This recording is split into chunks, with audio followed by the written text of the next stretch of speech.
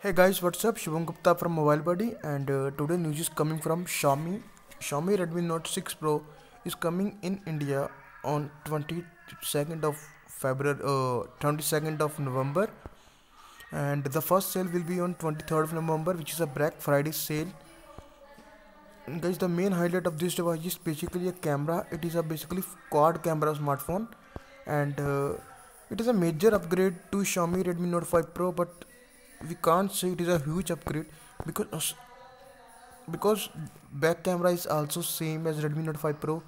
Processor is also same screen size is just 19 and it is it is having a dual front facing camera which is 20 plus 2 megapixel camera. And guys these shots are taken with DSLR not with Xiaomi Redmi Note 6 Pro. It is just imagine imaginary photos. And guys I don't know yet why Xiaomi has changed the unveiling date of this phone because it is going to launch in India between 10th to 19th of February but now the date has been changed. So guys that's it for this video. I hope you like the video. Please like share and subscribe to our channel. Thank you